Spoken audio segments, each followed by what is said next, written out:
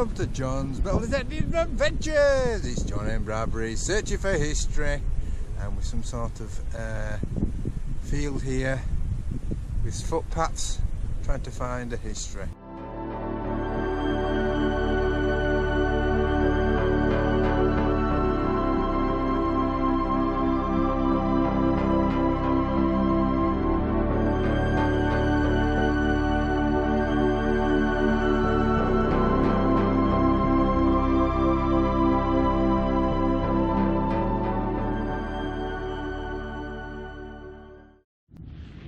Yeah, 1947. Florin, George V. Only good. Here you go. Yeah, nice Victorian penny.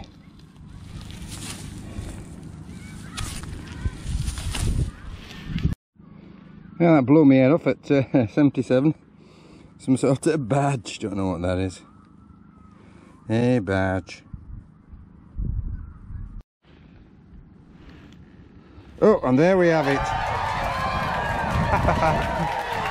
Queen Victoria shilling.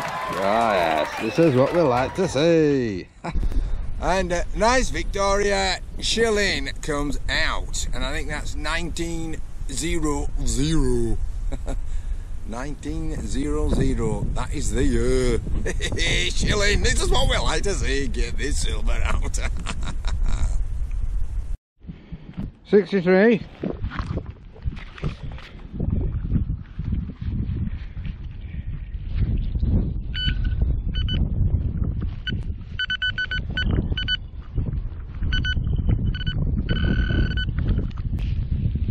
Haha, Oh, look at that. Yeah, lovely chain. I think it's a watch chain. Silver watch chain. Yeah. Oh, yes. We'll have a bit of that. Excellento. Woohoo! Size of that. Yes, we'll have some of that. Well, look at that. Silver watch chain. We'll have a bit of that. All these other artifacts we've got here, we've got uh, some sort of, I think that's a ceramic uh, bit in the middle that's missing, but some sort of badge or button or something of some kind. Uh, belt buckle, a uh, uh, another type of buckle, probably First World War actually. Buckle again, that I'm not sure about that long thing. I've got a dandy button, horse brass decoration, and another button of some. Pocket watch chain, all hallmarked there somewhere. 12 inches long.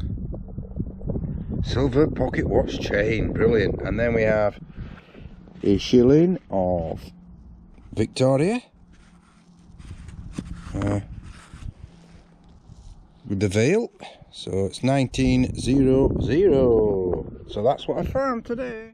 Well, another day comes to the end. We've had a cracking day of finding silver and artifacts being absolutely another great day. Thanks for joining me and catch you on another adventure.